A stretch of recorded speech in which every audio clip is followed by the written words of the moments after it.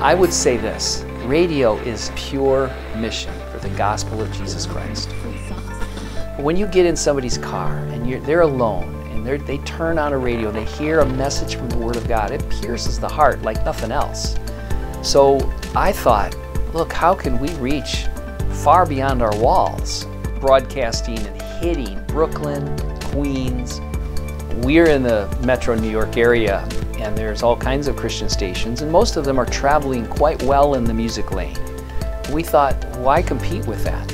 Uh, we, we want to travel in a lane that everyone else is ignoring and that is verse by verse teaching.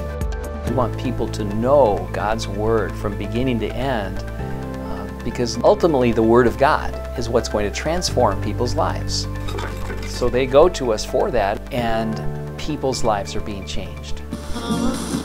1980, I started listening to Pastor Chuck on the radio, and it touched a kid that was in Yonkers, New York, who was, you know, hurt and lost, and I, I, I was able to understand it. it. It was powerful. It changed my life. You know, Pastor Chuck was really a visionary, wanting to get radio out and really to have verse by verse teaching in our communities. For us in Myrtle Beach, that's our history of how we got involved with radio. My main purpose for the radio station was to feed a biblically illiterate community. Even though I know these people will never walk through our door, we're feeding them. And that's all I wanted. You can be discouraged when you something goes wrong in the middle of the night and you have to fix it before rush hour the next morning. But then the Lord provides always some encouragement later on at how it's impacting lives. You just can't imagine all the things that God can do when His Word gets put out there.